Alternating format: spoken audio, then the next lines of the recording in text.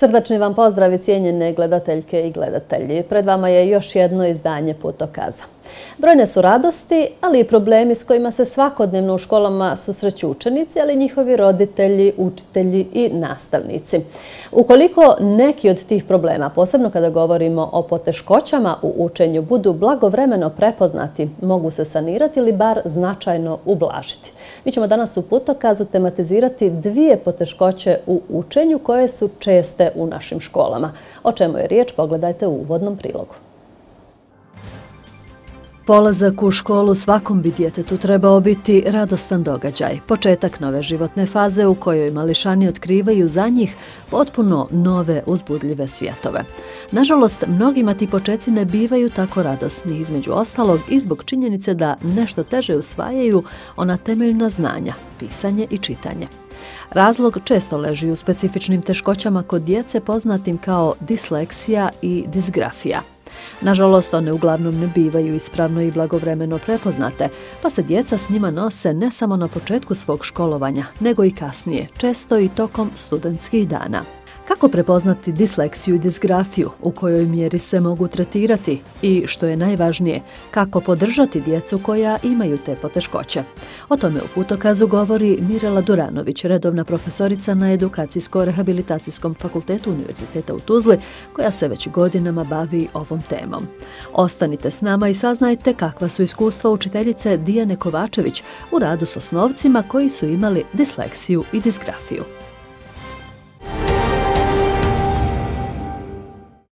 Zadovoljstvo mi je u studiju pozdraviti profesoricu Mirelu Duranović sa Edukacijsko-rehabilitacijskog fakulteta Univerziteta u Tuzli. Profesorice, dobrodošli. Hvala što govorite za putokaz.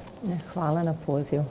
E, vi ste 2004. godine na Edukacijsko-rehabilitacijskom fakultetu e, doktorirali na temu procjena fonoloških i semantičkih sposobnosti kod djece sa disleksijom i disgrafijom. Rekla sam već u uvodu, aktivno se i kontinuirano bavite ovom temom. Je li se u ovih 20 godina od vaše doktorske teze e, promijenila svijest u našoj zajednici kada su u pitanju ove dvije teškoće u učenju kod djece, pa samim tim i tretman? Posebno nas naravno zanima Tuzlanski kanton. Pa evo, ja se problematikom disleksije i disgrafije bavim više od 20 godina i e, mogu reći da kada sam se počela baviti time, bila sam tada asistent na edukacijsko-rehabilitacijskom fakultetu na osijeku logopedija i audiologija i trebala sam svoje studente da e, učim e, praktičnom radu sa djecom sa e, disleksijom.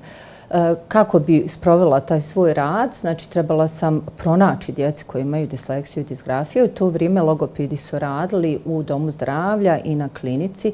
Međutim, u to doba nije bilo niti jednog diagnosticiranog djeteta sa disleksijom. E, znači, u Bosni i Hercegovini prije 2000. godine nismo uopće imali djecu sa disleksijom. Znači, ne da oni nisu postojali, nego nisu bili e, prepoznati. E, u to vrijeme je bila dominantna defektologija pod utjecaj Vigotskog, gdje su se samo isticale djeca koji imaju vidljivi teškoće, kao što su gluhoća, sljepoća, intelektualni teškoće i tako dalje. A za disleksiju se kaže da je to nevidljivi E, poremećaj. E, s obzirom da djeca imaju prosječnu ili nadprosječnu e, inteligenciju i nije ih tako jednostavno prepoznati kao djecu sa očitim teškoćama. E, tako da je moj zadatak bio da e, pronađem tu djecu, da razvijem testove za njihovu procjenu, materijale za njihovu e, terapiju. Možemo reći da danas, e, nakon 20 i nešto godina, ipak imamo e, postavljeno e, sve u sistem. E, ta djeca se sve više e, prepoznaju u odnosu na taj period. Međutim, i dalje mogu reći da nisam e, zadovoljna, s obzirom da izostaje prije svega edukacija nastavnika. Znači, oni tokom svog obaveznog školovanja ne uče ovoj problematici. Kada se susretnu sa takvim djetetom, teško ga prepoznaju, ne znaju šta da rade, s obzirom da ih zbunjuju, jer djeca su e, inteligentna, čini im se da oni mogu, tako da se čisto označi kao lijeni, kao neće, pa nek više rade, rotelji dodatno vrši pritisak e, na njih, e, a u suštini njima je potrebna sasvim druga, drugačiji pristup, drugačije metode rada kako bi oni bili uspješni. Recite nam evo na samom početku da približimo i onima koji možda po prvi put čuju ove termine, šta su u stvari, koje su to poteškoće koje e, podrazumijevamo pod tim pojmovima disleksija, disgrafija? E, disleksija se na našem području vezuje za teškoće čitanja, a disgrafija za e, teškoće pisanja. Iako u engleskom govornijezičkom području e, se koristi samo termin disleksija, jako je teško naći bilo šta po terminom disgrafija. E, šta su tu teškoće? Znači, ako imate dijete, evo pokušat ću pojednostaviti, koje e, nema intelektualne teškoće, znači bistro je dijete, nema ošćenje vida, nema ošćenje sluha, nema nikakvih propratnih poteškoća, a dijete ne može naučiti čitati i pisati. E, ono što izdvaja djecu sa disleksijom, recimo djeci sa intelektualnim e, teškoćama, to je nije da oni ne znaju ništa. Znači, on će na neki način naučit će oni slova, ali to njihovo usvajanje i čitanje je značajno sporije u odnosu na njihove vršnjake. E, Pravi niz karakterističnih grešaka e, kada e, čitaju, izostavljaju slova, zamjenjuju slova, najčešće zamjenjuju D i B jer jedno okrenuto na lijevo, drugo na desnu stranu imaju teškoće u pogledu orijentacije. E, zatim e, čitaju slovo po slovo, a samo to čitanje slovo po slovo, s obzirom da one obično imaju lošu radnu memoriju, loše fonološke sposobnosti, onemogućavaju im da povežu ta slova i onda oni čitaju na pamet. Znači, on će prepoznati neko slovo, recimo bit će prvo slovo, ako je slovo M, onda će ono pročitati kao neku riječ koja ih asocira. Eh, E, na to. E, isto jako im je loše razumijevanje. Ako djeca ne mogu tačno pročitati riječ, automatski ne mogu tačno e, ni razumiti tu riječ. Znači, bilo kakvo zaostajanje u usvajanju vještine čitanja i pisanja može biti indikator da se radi možda o disleksiji i disgrafiji. Ono što je E, jako značajno kada govorimo o disleksiji jeste da to e, ostavlja velike posljedice na samo učenje. To se danas naziva e, po određenim klasifikacijama, spada u specifični teškoće učenja. Zato što oni će na neki način i savladati da čitaju sporo, negdje u trećem, četom, petom razdu, oni će i usvojiti tu čitanje, ali opet značajno spori, odnosno sve vršnjake, a onda se pojavljuju značajne teškoće u učenju. Znači, Znači čak i djeca koja dolazi na tretman kod logopeda, znači mi uspijemo savladati te počne poteškoće, a onda se pojavljuju teškoće sa učenjem. Znači sad moramo onda okrenuti sasvim jedan novi, e, drugačiji pristup, naučiti djecu, ne samo savladati vještine čitanje i pisanje, nego kako učiti kako bi mogli savladati školsko gradivo. E, da li se disleksija i disgrafija, evo mi e, baratamo sa oba pojma, da li se u pravilu javljaju zajedno kod djece ili se e, javlja nekako logičnim se čini da se javljaju zajedno pisanje i čitanje ili ipak ima slučajeva da, da dijete ima samo jednu od te dvije poteškoće? Oni se najčešće e, pojavljuju zajedno jer su čitanje i pisanje dva povezana procesa. Ako ima teškoće u čitanju, ima će teškoće u pisanju, ali može se desiti. S obzirom na naše pismo koje je karakteristično fonimsko pismo, koji bi evo, trebalo biti jednostavnija nego druga e, pisma, s obzirom da imamo za svako slovo određeni glas.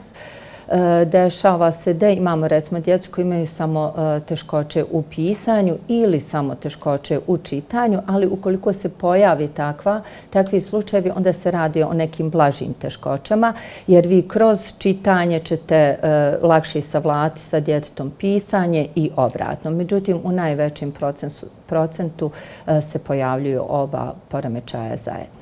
E, smatram posebno važnim da istaknemo, vi ste to već kazali, ali evo da podcrtamo da su djeca koje imaju teškoće e, u pisanju i čitanju, odnosno disleksiju, disgrafiju, u pravilu djeca prosječne, često i nadprosječne inteligencije.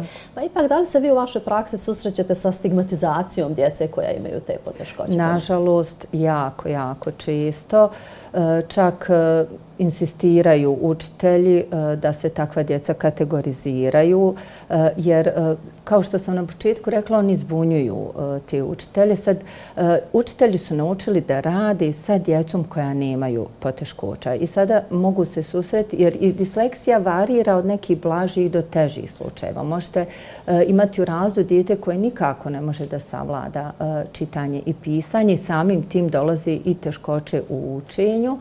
E, i onda u nekim slučajima ono i djeluje kao dijete da ima intelektualne e, poteškoće, a nema. Ili e, najčešće se značave kao lijeno, neće ono da rani, ili što je evo jedan od velikih mitova, ili nek samo više uči, ono će to savladati. Međutim, e, disleksija, ako ne upotrebimo druge metode rada, koliko god dugo radilo, ono neće e, uspjeti savladati niti čitanje ni pisanje, čak evo kao stručnjaci preporučujemo da smanjimo e, materijal za prepisivanje, materijal za učenje, a što obično roditelji i učitelji upravo rade suprotno, oni traže da oni ulažu više napora, više truda, Eh, ja bi to jednostavno objasla. Evo, kada bi nama postavili neki zadatak da uradimo koji mi jednostavno ne možemo savladati. Evo, recimo, ženama da zamijene gumu na autu.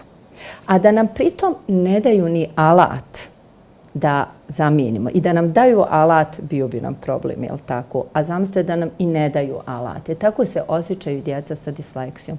Znači, uporno se tjeraju da urade nešto što oni ne mogu, što zaista stvara velike frustracije kod djece i može ostaviti i značajne psihičke posljedice. E, što može voditi ka destruktivnom, autodestruktivnom ponašanju. Evo čak su istraživanje pokazala da e, veliki broj osoba u zatvoru imaju upravo disleksiju i da se postavlja pitanje da li ih je disleksija dovela do tih e, negativnih oblika ponašanja e, da oni evo su završili na kraju na takvom mjestu. Evo, e, nekoliko ste puta spomenuli učitelja, logičnim se nameće da su upravo oni ti koji bi prvi trebali posumnjati na disleksiju i disgrafiju u onoj fazi opismenjavanja pravo kod djece. Tako nešto nam je i kazala i poručila i učiteljica Dijana Kovačević s kojom smo razgovarali o tome e, je li se susretala s djecom disleksijom i disgrafijom, kako gleda na to i kako se kako rješavaju stvari te probleme u razredu. Pa pogledajmo prilog.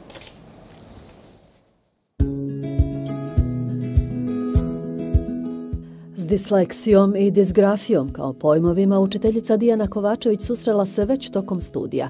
Praksa u učionici joj je potvrdila potrebu da i tekako obraća pažnju na probleme koje ti pojmovi podrazumivaju. Disleksija i disgrafija su prilično čest e, te, česta teškoća e, u današnje vrijeme kod djece mlađe školske dobi i e, često znaju zavarati učitelje u prvom razredu e, kada učitelj smatra da je e, recimo otežano početno opismenjavanje djeteta i da djete teže usvaja slova i teže čita zbog toga što ne radi dovoljno. Međutim, često se iza tog težeg usvajanja i čitanja i pisanja, na kraju krije disleksija i disgrafija. E, najčešće je naj pouzdanije u stvari e, otkriti disleksiju i disgrafiju na kraju drugog razreda osnovne škole kada nekako i završi taj proces opismenjavanja i onda se to malo i, i kristališe i zna se koja djeca su usvojila e, slova što se tiče čitanja i pisanja, a koja još uvijek imaju neke teškoće prilikom čitanja i pisanja. Na taj način se one greške koje se učestalo ponavljaju mogu vrlo lako svrstati u greške koje pokazuju dislektičari i disgrafičari. Upravo zbog toga logično je da su učitelji ti koji najprije posumnjaju da mališane imaju probleme s disleksijom i disgrafijom. Saradnja s roditeljima nakon toga je iznimno važna. Kao i inače u školi, saradnja sa roditeljima je e, jako, jako bitna i neizbježna i nema uspjeha ako se ne uspostavi i saradnja sa roditeljima. Neće dovesti do velikog uspjeha kod djeteta ako nema podršku i pomoć roditelja. E, Naravno da će učitelj, ne zbog toga što je to nešto učitelj superiorniji od roditelja, uočiti i teškoće sa vidom, i teškoće sa disleksijom, i teškoće s disgrafijom. Upravo zbog toga što se te e, teškoće i počinju pokazivati prilikom opismenjavanja. Nikada vi u prostoriji nećete odvojiti dijete na kraj sobe pa da kažete pročitaj mi nešto. To se dešava u učionici i onda uočimo recimo probleme s vidom. Isto tako se uoče problemi sa disleksijom i disgrafijom jer na početku naš sistem e, učenja slova je da pišemo ono što čujemo i to učenicima s disleksijom pravi velike probleme. Osim roditelja i učitelja, u proces podrške djetetu s disleksijom i disgrafijom moraju se odmah uključiti i defektolozi, kaže naša sagovornica. Bez defektologa mislim da nema nekih velikih pomaka, jer inače pomaci u disleksiji i disgrafiji su mogući, ali vrlo spori. Znači, treba raditi dugotrajno, to je jedan spor proces, ali je učinkovit. Znači, dovodi do nekih dobrih rezultata kada se radi, ali e, ne treba očekivati da dijete preko noći uspije u nekim svojim prevazići neke svoje teškoće. I ne treba ni slučajno na dijete stavljati pritisak, jer e, pritisak koji mi kao učitelj ili roditelj stavi na dijete može izazvati još veći poremećaj kod djeteta, e, jer dijete ne može ispuniti sva ta očekivanja zato što stvarno ne može nešto ne želi, jako se trudi, vidi da ne uspijeva, a ne uspijeva zbog toga što je prisutna neka teškoća. Za izgradnju jakih individua veoma je važno da kod djece od najranijeg uzrasta razvijamo samopouzdanje, naglašava učiteljica Kovačević. Zato učenike koji, na primjer, imaju problem s čitanjem, ne treba forsirati da to rade pred drugima i eventualno izazovu njihove podsmijehe ili zadirkivanje. Djecu treba forsirati na poljima na kojima su dobri, uspješni, a tamo gdje imaju poteškoće s njima strpljivo raditi. Posebno to dolazi do izražaja kod djece s disleksijom i disgrafijom.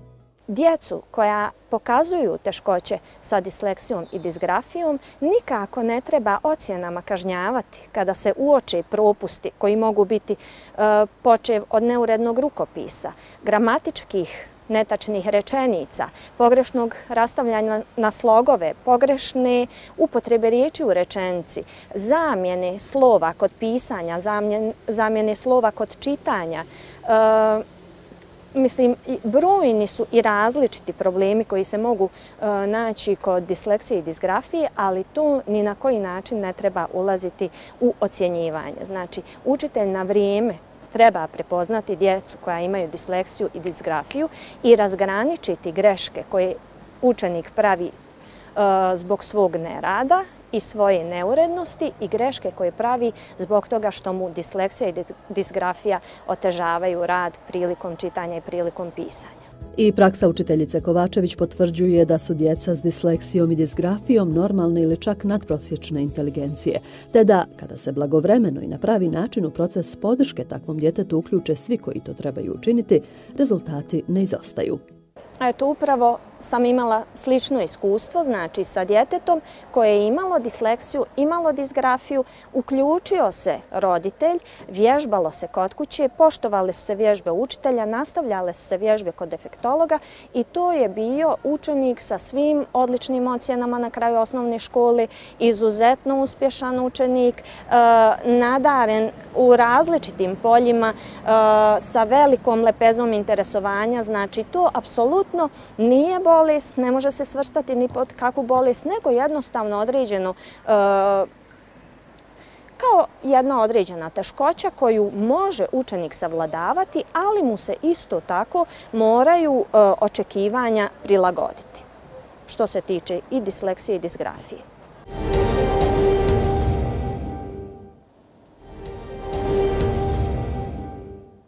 Ponovo smo u studiju. Naša gošća je profesorica Mirela Duranović sa Edukacijsko-rehabilitacijskog fakulteta. Profesorice, čuli smo iskustvo iz prakse, puno lijepih poruka e, i ono što je akcentirala i učiteljica Kovačević, ništa bez defektologa. E, nije moguće postići zadovoljavajuće rezultate. Koliko se u stvari može postići evo, kada se ispravno pristupi djetetu s disleksijom, disgrafijom, šta i koliko se može postići? Meni je jako drago čuti jedno ovako dobro iskustvo uputstvo e, učiteljci gdje e, sve e, njene izjave odišu jednim velikim znanjem ovoj problematici, što nažalost nije tako čist slučaj, tako da sam evo jako sretna da vidim da ima i učiteljica koji razumiju i želi da razumiju ovu problematiku.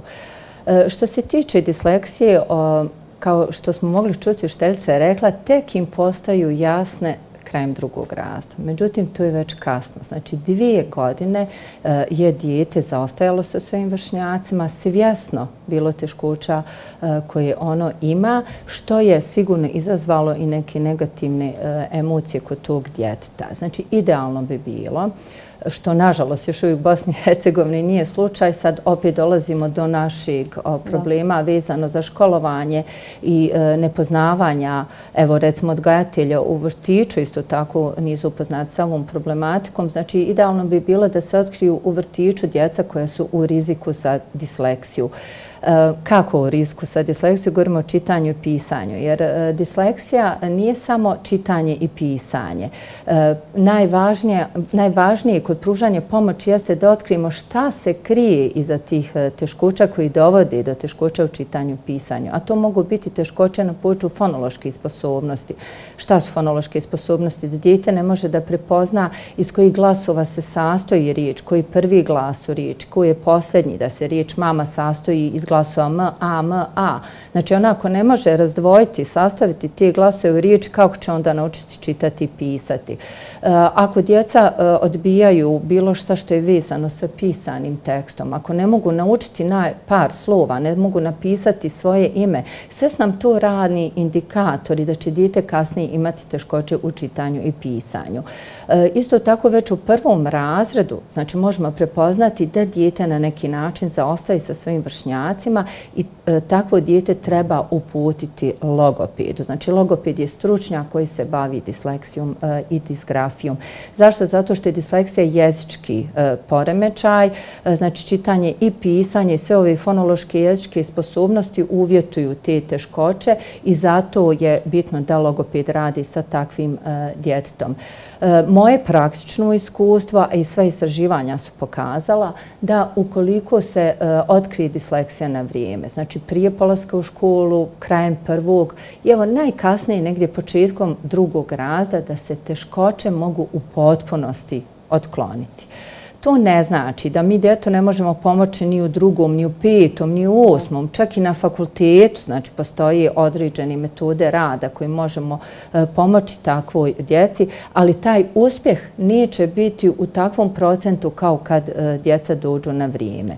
Recimo, meni je evo prije par godina došao ovaj gospodin koji ima 30 i nešto godina, koji je želio da zna zašto je cijeli život imao e, teškoće, zašto nije završio gimnaziju nego neku lošiju e, školu i zašto sad ima problema da napreduje e, na poslu. Mi smo ostali tri sata i razgovarali jer jako puno toga smo imali šta za reći kako bi evo i u tom e, životnom periodu njemu mogli pomoći da napreduje na svom radnom e, mjestu. Što znači da nikada nije kasno da se potraži e, pomoć, e, svakako će biti rezultata, ali idealno bi bilo već krajem prvog razda ili početkom drugog razreda kako bi mogli u potpunosti otkloniti te teškoće. Spomenuli ste brojni su uzroci za disleksiju i disgrafiju. Negdje sam pročitala, zanimljivo mi je bilo da jedan od uzroka od onih genetskih, nasljednih i tako dalje može biti i pedagoška zapuštenost djece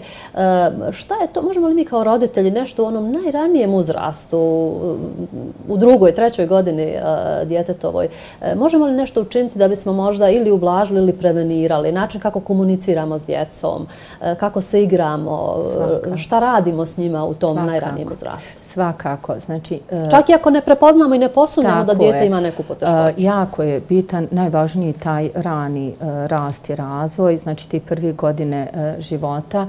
Sada živimo živimo doba informacijalne tehnologije, znamo da roditelji jako e, puno e, daju djeci da koriste mobitele, tablete i tako dalje i suočavamo se, možemo reći, sa epidemijom djecom koji kasni govorni jezički razvoj, a uvjet za usvajanje, čitanje, pisanje jeste razvijen govor e, jezik. Znači, prije svega roditelji trebaju ograničiti vrijeme koji djeca provodi uz tu informacijanu tehnologiju.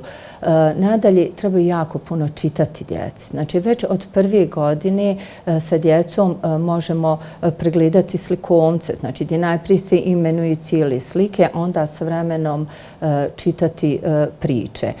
Dok se čita sa djetom priče Bogati se riječnik, djeca se upoznaju sa slovima, a isto tako, znači, s vremenom djeca počinju očavati da se slova, da tu postoji neka slova. Znači, da se čita sliva na desno. Djeca u početku čini im se kao da čitamo preko onih slika, Znači, jer dešava se ako slike ne prati tekst, djeca će okrinuti strancu jer kao ne čitamo mi dobro. A onda s vremenom oni počinju se osještavati. A to su sve važne prečitalačke vještine. E, isto jako je bitno da se djeca igraju onih igara koji smo se mi igrali kao djeca. Recimo, e, igra vješanja. To je fantastična igra za razvoj fonoloških sposobnosti gdje djeta odredi položaj svakog glasa on ta riječ. Igra kaladonta. E, čovječe ne ljuti se To je fantašno za orijentaciju prostoru, za brojanje, položaj. Znači sve ono što će e, djecu e, kasnije e, trebati za usvajanje, čitanja e, i pisanja. Znači roditelji ne trebaju djecu učiti slova ne trebaju učiti čitanju i pisanju, nego razvijati predvještine za kasnije osvajanje čitanja i pisanja. Učiteljice su zato tu da ih nauče i čitati i pisati. Da. Evo, već ste spomenuli, znamo iz, iz prakse da, da nažalost kod mnoge djece to ne bude prepoznato pa da dođu i do fakulteta. Nažalost, zna se dogoditi nekad ranije kada smo na ove teme razgovarali, kazali ste mi da, da e, mladi odustanu od studiranja zbog disleksije i disgrafije. Šta je to što obrazovni sistem uz ovaj ispravan tretman, prepoznavanje i tretman sa stručnjacima, može još napraviti kako bi toj djeci e, olakšao boravak i rad u školi? E, neku vrstu ustupaka, evo, e, nismo to spomenuli u prilogu, a Dijana mi je kazala da recimo djeci s disleksijom i disgrafijom u stvari uglavnom ne odgovaraju ove bijele table koje su sada sve prisutne u našim školama. Pisanje flomasterima u boji na tim tablama zna predstavljati poteškoću, više im odgovara recimo crni flomaster. Evo tako te neke stvari koje nama naoko nisu toliko važne, a toj djeci predstavljaju zaista veliku poteškoću ili im olakšava taj neki ustupak. E, znači, za djecu sa disleksijom ne treba posebni e, nastavni planovi i program. Zato često i roditelji e, sa djecom, e, roditelji djece koji imaju disleksiju odbijaju da kategoriziraju e, djecu sa disleksijom kao zašto kod mog djeta pisalo da je to djete sa posebnim potrebama, a njima trebaju samo mali prilagodbe. Te prilagodbe se odnosi recimo da učiteljice štampaju u većem fontu na papiru. Znači, postoji posebni fontovi, recimo disleksi, font za osobe E, sa disleksijom, e, gdje imamo veći razmak između slova koji djeci e, sa disleksijom olakšava čitanje. Znači, to su vrlo male modifikacije koje ne zahtijevaju ni sredstva, ne zahtijevaju ni puno vremena učiteljci, a mogu jako puno pomoći djetu sa disleksijom. Isto tako, e, evo, da ne prepisuje sa table, ako on dobije u tom formatu da prepiši, to će njemu biti puno lakše. Isto tako, e, izbjeći ta nepotrebna stalna e, prepisivanja sa table. Znači, čisto se žale djeca sa disleksijom s kojim ja radim, da neke učiteljce baziraju svoj rad da one pišu na table, da djeca to prepisuju i onda oni znaju zaplakati, ali sva djeca odu na odmor, a ja ne mogu otići na odmor jer ja ne stignim to formirati, e, ne stignim to prepisati. Znači, e, to se može unaprijed djeci dati, pripremiti materijal, da to djeca ušte ne moraju sve prepisati ili podvući im samo dio koji oni e, trebaju prepisati. Isto tako male prilagodbe da se djecu sa disleksijom pozori da će sutra biti ispitivano, da im se omogući da koriste konceptualne mape. Recimo, djeca sa disleksijom jako dobro uči putem ti konceptualnih mapa na kojim će biti samo ključne riječi koji će njima biti okidači da se prisjeti zbog te loše radne memorije onoga što su učili. Isto tako, s obzirom da su oni jako spori, da im se smanji recimo e, broj pitanja na testu ili da im se produži vrijeme testiranja. Znači ne zahtjeva se e, ništa, e, nisu to prilagodbe da ne tražimo djeteta sa satisfakcijom da uči nego e, to su prilagodbe da vidimo koji je zaista stvarno znanje i kao isto, e, evo što je učiteljica rekla, ne treba djecu kažnjavati za gramačke greške. Znači ja sam jedne godine e, držala predavanje za nastavnike u srednjoj školi u Hadžićima i onda je jedna nastavnica bosanskog jezika spoznala kako je grišla, kako je njen učenik u stvari imao disleksiju. I onda je donijela njegovu pismenu vježbu koja je bila sva iscrtana na crvenim onu, ovaj, olovkom sa svim tim e, greškama podvučenim, a mi kad smo pročitali taj tekst, uh, zanemarujući te štamparske greške, on je bio jako e, emotivan i zaslužio je sigurno veliku ocjenu. Međutim, u tom trenutku ona je ocjenjivala samo štamparske greške. Znači, treba zanemariti te greške i ocjenjivati suštinu onoga što je dijete napisalo. Evo, profesorce, meni je žao, vrijeme za našu emisiju danas je isteklo. Biće, ja se nadam i vjerujem prilike da još razgovaramo. Nismo spomenule e, često uz disleksiju, disgrafiju ide i diskalkulija, problemi sa računanjem, s matematikom. E, još jedna tema koja zaslužuje našu pažnju. Ja se iz ove naše priče nadam da će u narednom periodu biti još više saradnje e, vas, stručnjaka, defektologa, sa univerziteta, sa prije svega učiteljima i nastavnicima, kako bi oni imali imali što više informacija i što kvalitetnije prepoznavali ove probleme kod djece i kvalitetno reagovali. Svakako. Evo ja bi samo e, poručila da e, roditeljima i učiteljima, ukoliko primijete bilo kakvo zaostajanje u usvajanju čitanja i pisanja, bolje je poslati logopedu na procjenu i da se utvrdi da dijete ima poteškoće nego da dijete izgubi dragocijeno vrijeme, a da teškoće ostanu neprepoznate. A srećom, bar Tuzlanski kanton ima stručnjaka za ove probleme. Hvala vam profesorice na gostovanju u Putokazu. Hvala i vam. Vama hvala za pažnju. Sa vama smo ponovo za sedam dana. Do tada ne zaboravite da znanje je moć. Doviđenja.